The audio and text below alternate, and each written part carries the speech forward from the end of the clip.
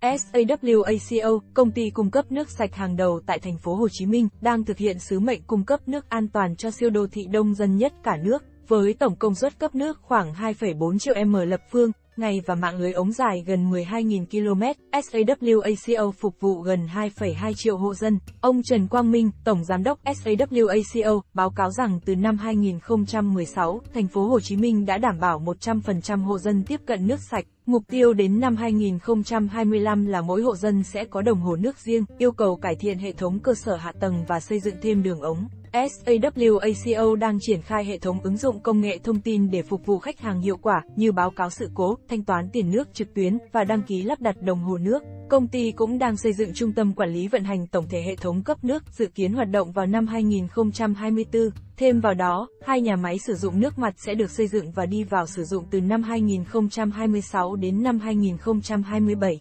PGSTS Nguyễn Minh Hòa, Phó Chủ tịch Hội Quy hoạch và Phát triển Đô thị Thành phố Hồ Chí Minh, nhấn mạnh an ninh nước là một trong bốn yếu tố quan trọng đối với an ninh quốc gia và thành phố.